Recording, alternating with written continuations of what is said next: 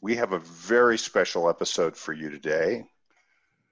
We are going to reach into the past and talk about Richard D. Wyckoff and Jesse Livermore and the the relationship that the two of them had back in the early 20th century. And to do that, we have a very special guest, Stella Osoba. Stella, welcome to the program. Thank you. Stella is going to take us on a journey through the early 20th century where she is going to talk about Jesse Livermore, the incredible speculator, and Richard D. Wyckoff. And so we are going to get started. I am going to get out of the way and let Stella uh, present this material to us. Stella is our official Wyckoff biographer. So she is um, an incredible resource for uh, us Wyckofians. Stella is an attorney, a writer, an independent trader who graduated from the University of Warwick in England. She is admitted to the Bar of England and Wales, as well as the state bars of California and New York. Uh, Miss Osoba left the legal field to pursue her trading and writing career. She has gained the Chartered Market Technicians de designation. She coaches individual traders and investors and develops courses in technical analysis, trading, and self development. Stella has written an, an incredible series of articles on Richard D. Wyckoff and his personal life, and those can be seen at stocksandcommodities.com. And she has also recently written this article on uh, Mr. Wyckoff and Mr. Livermore. And with that, Stella, let's get started. Thank you so much for being here. Thank you, Bruce, for inviting me. I'm excited to give this talk today. And as um, Bruce said, this um, talk is based on an article that um, I wrote and was published in the October 2019 edition of Technical Analysis of Stocks and Commodities magazine. Stella, uh, let's just pause for a second and we'll turn the screen over to you. Stella, we can see your screen. Go right ahead. Thank you, Bruce. Okay, so the title of this talk is Wyckoff and Livermore, The Conversations. Um, Wyckoff met um, Jesse Livermore for the first time in about 1917 in a hotel in Florida called the Hotel Breakers, which I believe is still is still around today. Wyckoff was always looking for um, information on how to read the mind of Wall Street, on how to trade.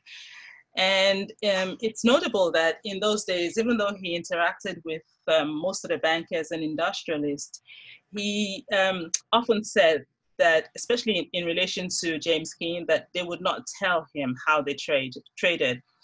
It took about four years of Wyckoff interacting with Jesse Livermore for Livermore to invite him into his trading room and to actually start to tell him um, of his trading methods. And so this talk today is just a distillation of some of the points um, that, some of the topics um, of trading that um, Livermore discussed with um, um, Wyckoff. So um, there are 10 topics that I have taken from the book. And the book that eventually, be, that um, Wyckoff published, um, which were a compilation of articles that he had published in 1922 on his um, discussions on trading with Jesse Livermore. Um, give me one second. The book, the book was called, hang on um, Livermore's Methods of Trading in Stocks, and that was published in 1939. And so let us start. The first um, topic is, and I'll briefly go through all of these because most of these are, are, are well known. Um, people may not realize the origin, but most of the topics here are, uh, really well known. Day trading, for instance, one of the things that I've come across is that a lot of people who may have heard of J, um, Jesse Livermore automatically think of him as a day trader. And nothing could be further from the truth. Now, he started off in the bucket shops and um, trading in the bucket shops, which were just like facsimiles of um, actual trading houses because they were you did not actually buy or sell stocks. All you did was bet on the direction of a stock. And he became known as the boy plunger because he became so successful at doing that. But they were really more like gambling um, outfits. And he, as he matured as a trader, he actually moved into um, um, the brokerage houses and actually started trading real stocks. And when once there, he um, he started focusing on the intermediate and on the long term. Wyckoff notes that he cured himself of jumping into and out of the market um, day after day. Before I go on, I just want to mention something that I found. A lot of people who are new to trading are attracted to the idea of day trading. In fact, I recently came across a course by um, somebody who was advertising for a couple of um, thousand dollars, of course, which would teach a novice how to day trade to make extra money for holidays um, you know, and, and, and other things. And I thought nothing could be further from the truth that somebody would be able to take money out of the market day after day. Nothing could be harder um, than that. And basically, that's the exact same thing that Wyckoff and Livermore said. In order, it's one of the more difficult ways of maintaining consistent profits. Um, trading the longer swings are what Livermore did. And basically the Wyckoff method teaches you how to do that.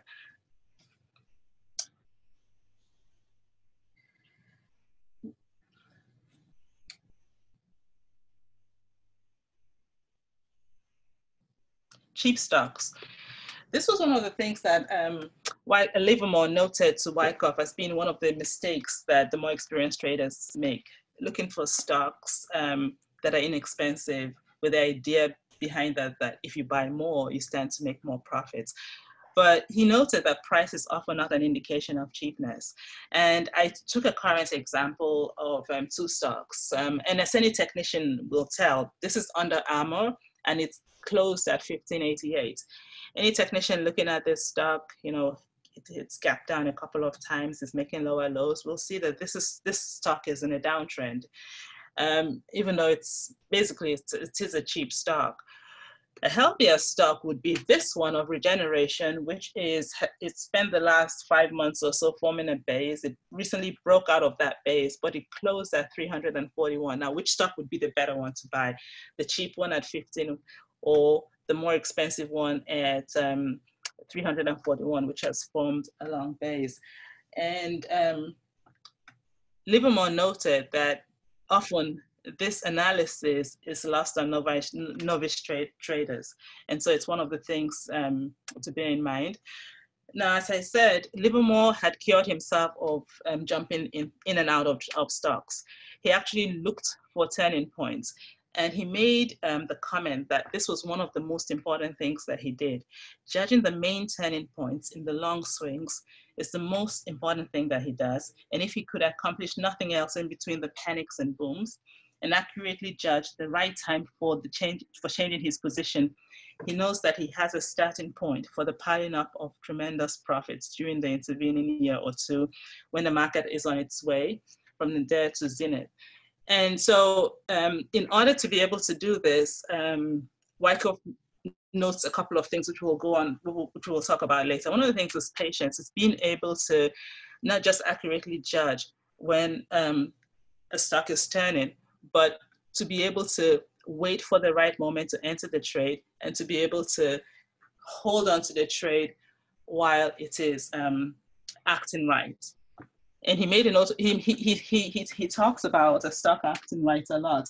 And one of the things um, I will note, and I've had problems with this as well, is when a stock is acting right, is having the discipline and the patience to be in the position and to hold the position even though the position is profitable. Studies have shown that we feel the pain of a loss twice as much as the um, as the pleasure of a gain. So we often will cut our losses short. I mean, cut our gains short. So when a position, when a stock is acting right, we, we, we, we are quick to jump out. But when it's acting wrong, when we're losing money, we will hold on to the position in the hopes that it will turn around and make us right again. And so one of the things is um, is is understanding that the psychology that has not changed, nothing has changed. It was as true then as it is now. Um, the next point he brings up is the danger point. And, and this is something that Wyckoff talks about in his trading course, his trading method. And I think he gets this from um, Livermore, because Livermore mentions that he um, gets into a trade as close to the danger, danger point as possible. And so what exactly is the danger point? The danger point is the for a trader who is using technical signals, the danger point is the point at which the signal has been given according to technical principles and confirmation um, confirmation says that it's time to enter the trade. So once we see, once we've planned the trade, we understand what our, what our um, entry signal should be and the confirmation should be, we enter. And what we will find is that the danger point is that point underneath um, the signal where the trade should not go. The reason why it is so essential to enter as close to the danger point as possible is then we can actually um, successfully um, cut our losses short. So if the trade were to reverse, we know that um, you know we know that the trade trade is not acting right, and we can get out before losing too much money. Oftentimes, we will look for more um, confirmation and allow the trade to move um, a considerable distance from our danger point, and that that that that that moves us away and allows um, allows us to increase our chances of um, getting losses that are um, unsustainable. So one of those principles, a lot of trading is to do with discipline and patience. And we see these themes again and again coming out through um, Livermore's um, talks. So um, when we talk about danger points, if we get in at the right time, then we can put our stops at the right place. We can limit our losses. And so um, the discipline and um, patience that is required for successful um, trading is our skills and um, habits that are learned. And it takes a considerable amount of time to acquire the, the necessary skill and um, the necessary skill and discipline. He says in terms of um, time stops, um, Livermore mentioned that he would often be wary of stocks that drifted around aimlessly. So stocks that um, that are, are, trendless, you know, you, you give them um, a period of time and then you get out of the trade, even though you're not sure if it's going to rise or fall. The opportunity cost of staying in a trade that is not working, that is just drifting around, was too was too much for him to deal with. So he would get out of a trade, um, give himself a time stop, and get out of a trade when that was hit. Um, in terms of price stops, um, you know, um, stocks that did not move in the desired direction. For instance, stocks that hit your um, danger point and then um, proceeded lower or or the reverse, depending on which way you were going. Um, those were stocks. Those, those were he, he. One of the things was Livermore traded huge positions, so he would not use. Um, he would use mental stops, not actually um, stops that you could see, but he would use mental stops because, because um, to protect his positions from people from gunning for his stops. So he would use mental stops, but he would always use stops in his um, trading.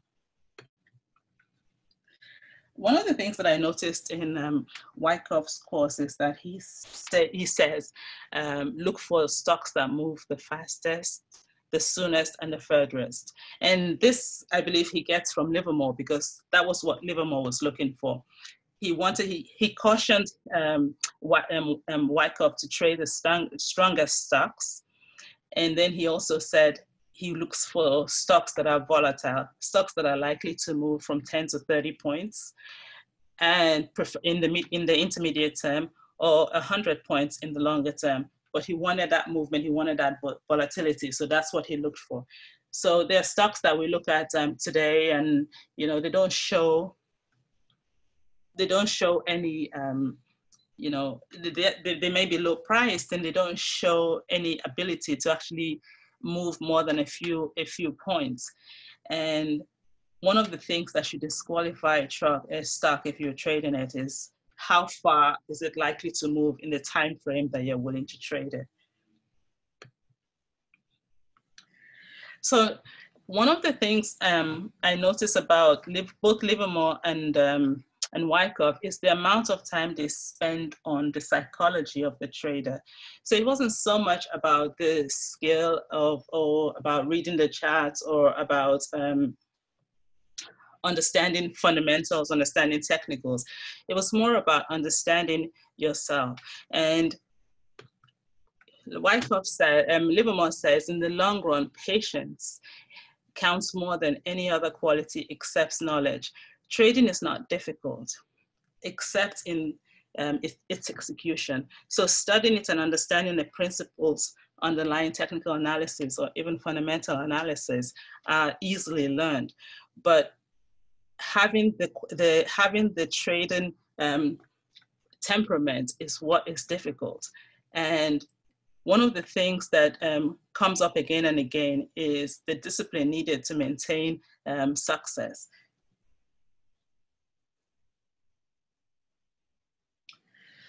So um, one of the things Wyckoff said, so few people trade, so few people succeed in the market because they lack, they, they lack patience. And you see these things coming out again, again, and again and again in um, work and also in Livermore's work. You know, it's um, the ability to hold on to a trade, the ability to wait for the right, just for the exact right um, moment to enter a trade, um, most people look at trading as um, get rich quick um, schemes and they're constantly looking for a strategy or a system that will allow them to get um, profits quickly because that is what is advertised but trading is a game for the long run Tra trading takes patience trading is boring trading requires immense amounts of discipline. And those are some of the qualities that come out again and again in, um, in, in the work that um, Livermore does. The next thing he talks about is poise. And this is one of the, this, this one I found um, even more interesting than normal because what is poise? And it doesn't require, it doesn't refer to a physical um, um, even though I have a yoga, uh, somebody um, doing a yoga pose um, in the image. But what it really refers to is um, mental clarity. It's um, a state of mental balance which en enables him to, to regard any situation calmly and from an unbiased point of view, uninfluenced by hopes and fears. And this becomes very significant when you think about this um, fact that one of the things about perception is that what was commonly believed to be true is not true um, our minds are not like recorders. We don't see all that is out there. What we see is to is um, is to a significant degree formed by um, what's going on in our minds. So um, there are many studies that have recently been that have been done, and they show that brains do not passively record the input um, that it receives um, from the eyes to, pro to provide a visual representation of our environment. Um, there's something called expectancy induced illusory percepts. And what those are basically is that our moods can cause us to see things that are not there. And there's an experiment um, that I recently came across where people were given stimuli, different stimuli, and they were asked to look at um, images of smiley faces and frowning, sad faces, basically. And the smiley and sad faces were in the same proportion, but the stimuli different, um, differed. So people were given um, happy music to listen to and then given the stimuli and um, given the images to look at and they reported seeing more smiley faces than sad faces. But the people who were given the sad um, images and the sad music to listen to reported seeing more sad faces than smiley faces. And basically what that, what, what that, um, how that helps us in our trading is the fact that when we look at charts, it's often, we have to be conscious of the fact that we may, we, our mood influences what we see, can influence what we see. And um, sometimes you know we see we will not see what is actually there. So the this the skill is to try to bring our perception as close to what is real as as possible. And the way we do that is by damping down our moods being very conscious of how we feel and trying to neutralize our moods so that we can increase um, our perception the next one I want to talk about is silence and seclusion. One of the things um, Livermore um, told Wyckoff was that your ex, your your neighbor, your friend, somebody always wants to tell you their opinion of the market or ask you for their opinion or ask you for your opinion. And he wants to insulate himself from the opinion of others. And it's interesting that he said that because even when he became a really successful um, speculator, he still found that listening to the opinion of others, whether it was on the in, whether it was in the media and the papers or whether it was um, a friend, a neighbor, whatever, seeped into his psyche and influenced his um, his trading. So he tried as much as he could to insulate himself. I believe he lived somewhere in Long Island and he would not take the train because he did not want to run into people. So he would um, commute into the city, into Manhattan, um, each day when he was in New York um, by private car so that he could separate himself from others. He told Wyckoff that he played a lone game you know his game was his and he's alone. It was he he would focus he would concentrate and he would um, block out as much as he could the opinions of of of people of anyone including the ex the so-called experts.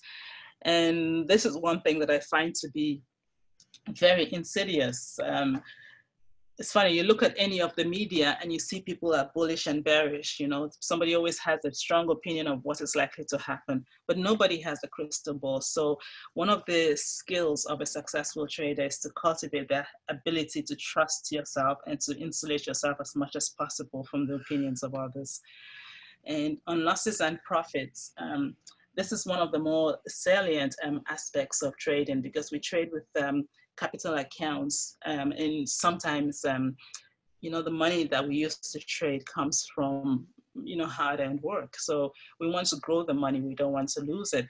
But one of the things about trading is um, you cannot avoid losses. So a little more caution that you must not trade to avoid lo losses because losses are in inevitable. And then Wyckoff says, um, use the losses um, as the cost of doing business. So just as commissions and taxes are the cost of doing business, losses are also part of that inevitable cost. The job of the successful speculator is not to avoid losses, but to learn how to manage them emotionally and financially. And one of the things that holds us back as traders is that fear of losses. You know, you get into a trade, maybe you're early, you get out of that trade, and then the, another signal comes up, and then you hesitate before you go back in, and then find out that, um, you know, you would have been right. You were right. The trade the trade works, and then you get in early. You get in late because you don't want to miss out completely, and then find out that it reacts, and then you lose, and then it happens all over again, and you find that you're you're booking losses instead of um, you know making profits.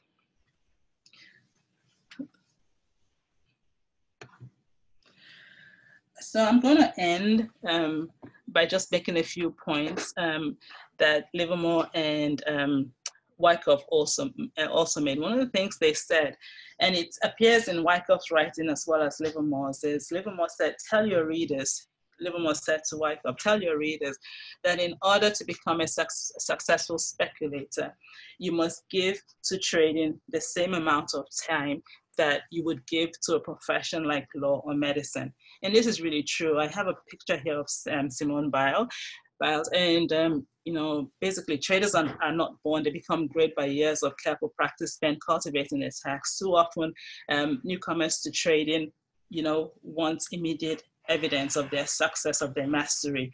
But it is a craft, it is a skill, it takes time. Um, and my uh, end with um, words from Wyckoff on evolving a trading character. He felt that trading character, um, paper trading lacks the element of risk, so try to trade with um, real money. And that goes back to um, Livermore saying, you know, um, about losses, um, learning to kill your losses, learning to realize that losses are inevitable, and learning to understand how to manage losses. Um, the obstacles to be overcome are the feeling of uncertainty of um, in danger, the hope of profit, as well as the fear of loss. So if you can go into your trades um, feeling as neutral as possible, taking a neutral position as possible. And this is not impossible. This is something that you learn. And as Wyckoff says, you know, you make if you after you've made hundreds of trades, you may then find that you can work without hope or fear. But you have to first subject yourselves to all of the emotions that accompany regular trades. And um, so basically, that's I hope I hope that has been useful. But those are some of the points that I wanted to bring out um, in the conversations between these two great traders and speculators. Wow. Stella, there was so much in there. I think this will be a video that people will watch over and over and over because there's so much content. And what I was gonna, I was thinking about as you were speaking, is that Reminiscences of a Stock Operator, which was written by Edwin Lefèvre, and was a book that we required students to read in our class, was allegedly written by and about uh, Jesse Livermore, who was the fictitious character Larry Livingston in in the book. And I read that book every year, and it's a wonderfully written story. But it really is a coming of age story for becoming a mature speculator. Yes, and, and it's it's one of the best um, books on trading that's been written. Oh, every great trader will have it at the top of their list. Yes. And uh, and so the the essential elements in that book, temperament, maturity, discipline, and so on, and all of the mistakes that the young Livermore made uh, are just so valuable to read about. Um, anyway, uh, Stella, uh, we really hope that you will come back again and again and again onto power charting and that we can have uh, more of these presentations and just your dis- uh, discussions about uh, the um, uh, the great speculative Richard D. Wyckoff, Jesse Livermore, and um, and have them uh, be uh, further dis- source of further discussion. I'd love to come back. I hope I, I hope you found it useful. It's the time the time flew by. Well, you're wonderful. Thank you for being here, Stella, and we'll see you again soon. Thank you so much, Bruce. Thank you.